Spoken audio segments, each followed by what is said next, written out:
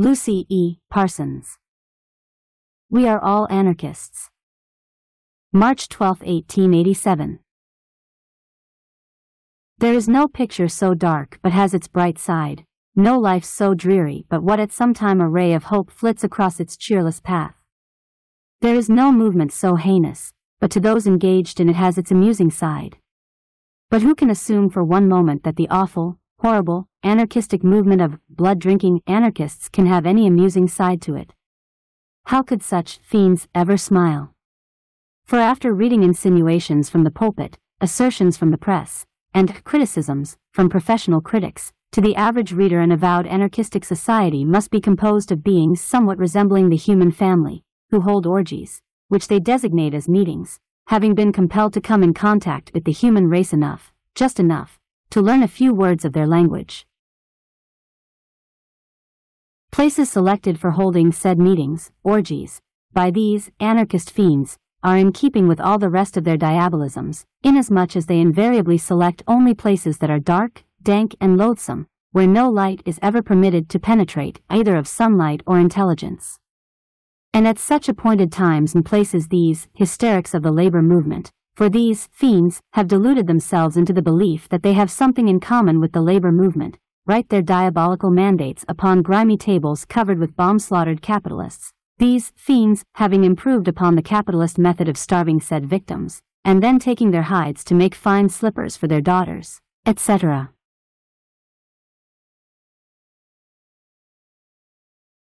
And as these foul conspirators, each in turn reaches a mangy hand under the table and takes therefrom a capitalistic infant's skull, each slowly raises bloodshot eyes, fills said skull with sour beer, and clinks the same with some fellow conspirator's sour beer which is contained in the empty half of a dynamite bomb.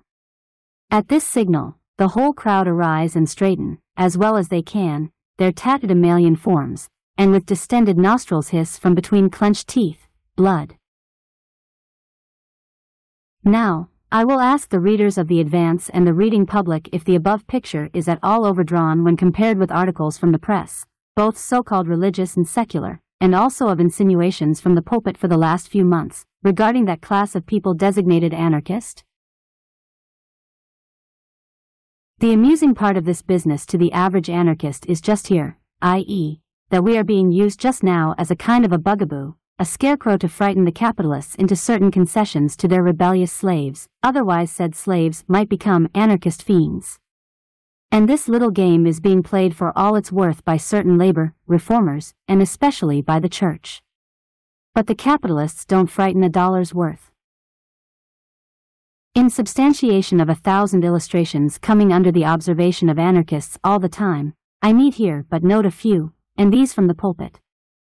The Reverend Hugh O. Pentecost, of the Congregational Church, Newark, New Jersey, in his sermon entitled The Henry George Solution of the Labor Problem, as reported in the New York Standard, says If you say that Henry George is an anarchist, you will simply be exposing your own ignorance.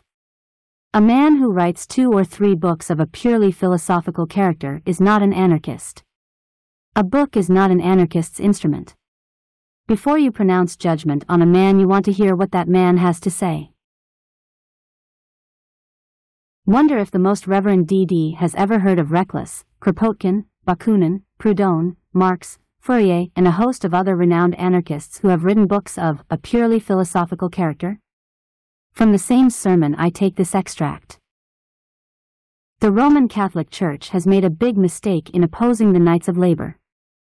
I have studied the Knights of Labor for several years, and I have become convinced that the organization is one of the great bulwarks that stand between society and red-handed anarchism. Does this reverend gentleman throw this out as sop to capitalists? Yes, bulwarks, red-handed anarchism, etc. Well, it won't work, because the 21 demands of the Knights of Labor platform are an endeavor to supplant the present wage system by a system of cooperation and my dear friend, red-handed anarchism, where and when the wage system has ended. Every attempt of labor organizations to improve the condition of the wage worker is, when successful, a limitation of the capitalist's power, authority, and a limitation of the severities of the wage system.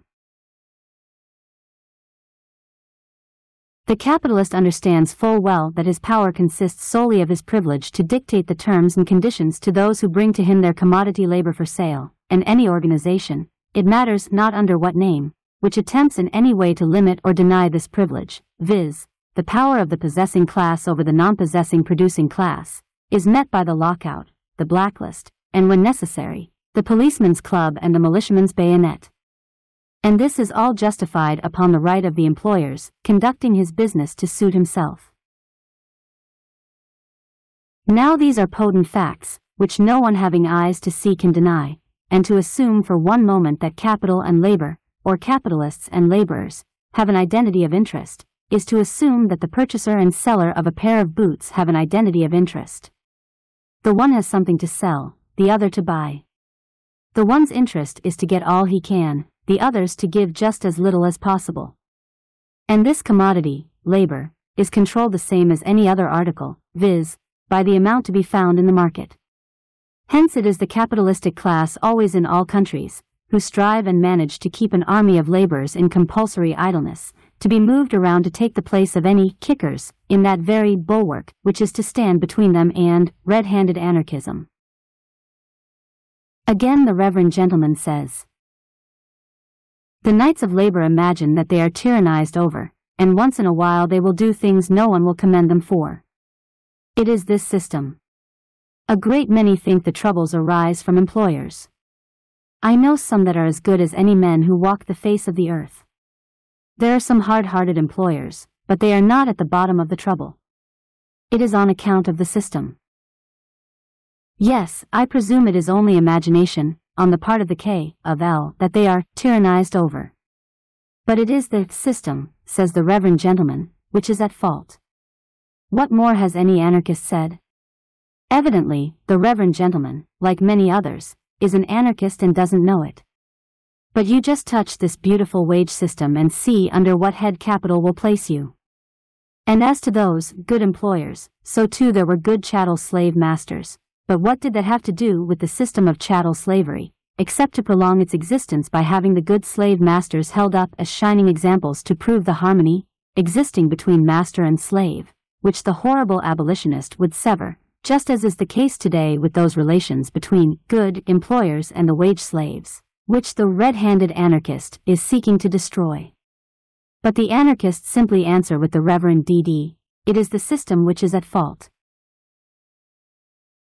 Well, if it is the system that is at the bottom of the trouble, then it certainly should follow to the average thinking person that the system must be changed. But this reverend gentleman durst not propose such a remedy to his congregation, else he might be set down as a disturber of the peace, just as though anything in the line of justice can be brought about unless the peace of established injustice is disturbed. I will state briefly for the information of those who are so busily engaged just now in declaiming against the system and declaring they are not anarchists in the same breath, that our position is about this, to wit, the wage system having outgrown its usefulness, inasmuch as it creates famine in the midst of abundance, and makes slaves of nine-tenths of the human family, that it, the system, must go. And having read history, I can't find any instance where the ruling classes have relinquished any vested right without compulsion. And knowing that private property in the means of existence is a vested right, as much as any ever was or can be, it being upheld by the constitutions of all governments, backed by their powerful armies, we don't believe the privileged class are going peaceably to surrender these vested rights. The Advance and Labor Leaf